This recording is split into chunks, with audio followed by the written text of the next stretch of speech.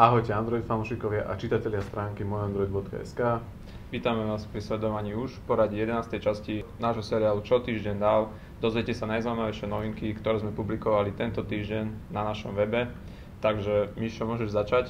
Začíname. Ako vidíte, my sme sa pohodlne usadili, to isté odporúčame aj vám. My sedíme teraz konkrétne priamo v spote, The Spot. Je to vlastne miesto pre začínajúcich podnikateľov a startupy my sme si toto miesto vybrali pre natáčanie našej ďalšej časti. Začíname.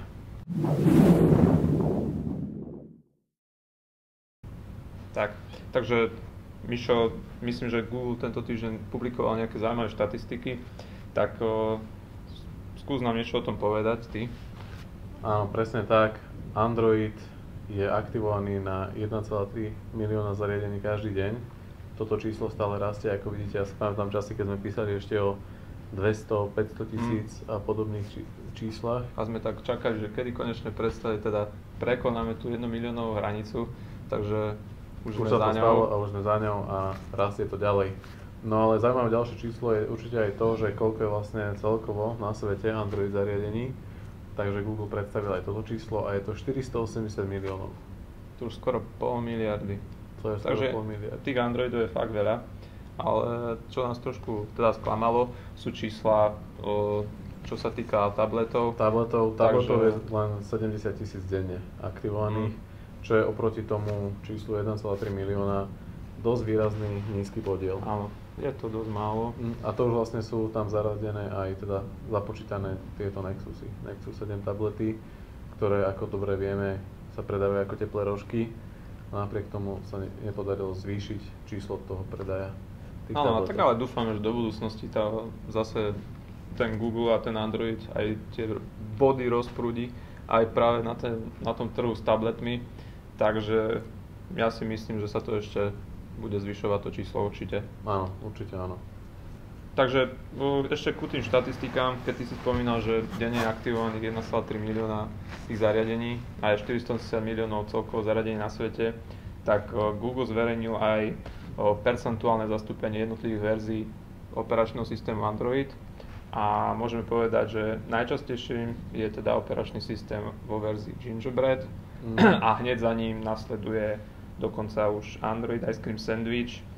A ten má podiel už 21% a a koľko je ľudí s operačným systémom Android Jelly Bean, ktorý mám aj ja napríklad na tomto tablete? No tak môžeme povedať, že to, že máš Android Jelly Bean, takže si celkom vynimočný, Mišo, lebo Ďakujem. ten je dokonca iba na 1,2% zariadení, čo nie je až tak veľa, ale dúfame, že to, ten nárast zase pocítime v ďalších mesiacoch a že sa bude ďalej rozširovať väčšou rýchlosťou ako mm. Android Ice Cream Sandwich. No, keď sme pri tých číslach, určite spomenieme aj ďalšiu hranicu, ktorú dosiahol Samsung so svojím modelom Samsung Galaxy S3. Takže Samsungu sa podarilo za 100 dní predať 20 miliónov týchto zariadení čo je výborné číslo, gratulujeme. Áno a teda čo sa týka tých aj, tá súvisí aj s touto predajnosťou, tak v USA presiahol ten predaj iPhone 4S, takže je to momentálne jeden z najpredávanejších, teda najpredávanejší telefón u mobilných operátorov. A zase, aby sme boli objektívni, tak určite spomíname aj to, že 12. septembra Apple plánuje predstaviť novú verziu svojho telefónu, bude to asi iPhone 5, takže predpokladáme, že ľudia čakajú tam zrejme aj, aj na tomto modelu. Určite sa to potom teda odzrkadlí aj na tých štatistikách ďalších. bude to, bude zaujímavé sledovať potom čísla z mesiaca október, takže určite vás budeme o tom informovať. Keď sme pri tých novinkách, tak určite si spomeníme aj nové zariadenie, ktoré boli predstavené aj tento týždeň. Okrem toho, že ste si mohli minulý týždeň pozrieť náš špeciál z IFA 2012 priamo z Berlína, tak ani tento týždeň nebol, nebola núdza o ďalšie novinky. Začneme spoločnosťou Motorola alebo mm. Amazon. Začni s tom. Alebo ja poviem Amazon a ty potom povieš Motorola. No dobre, poď. Takže Amazon predstavil tento týždeň ďalšie tri novinky. Jeden teda je pokračo- pokračovateľom tej predchádzajúcej línie Kindle Fire, o, má vylepšený procesor, a väčšiu kapacitu RAM.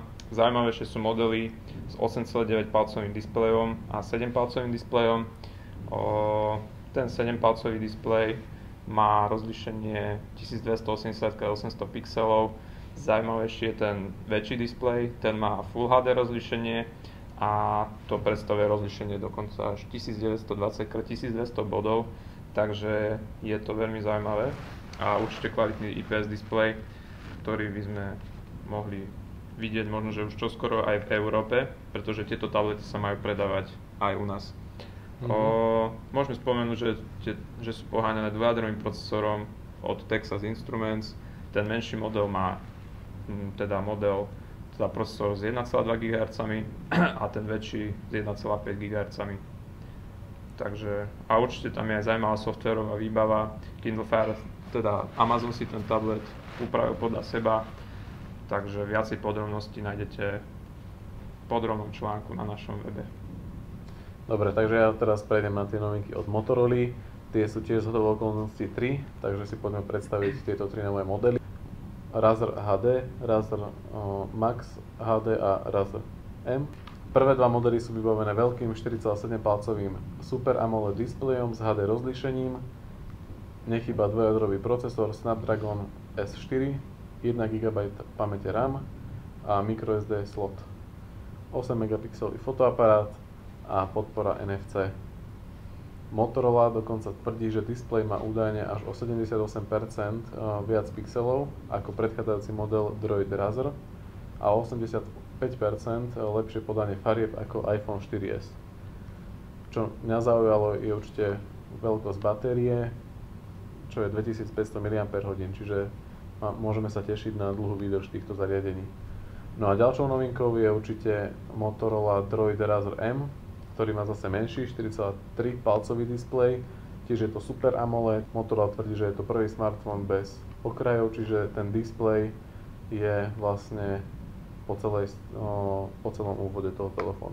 Tak to aspoň tvrdí Motorola. My sme tie obrázky videli a teda môžeme tvrdiť, že to není taký pravý bezokrajový displej. Tak ale jedna vec je tvrdiť niečo a druhá vec je to vidieť naživo. Uvidíme, tieto modely sa majú teda objaviť aj v Európe. A konkrétne ten model Droid Razer M a Razer HD. Tak.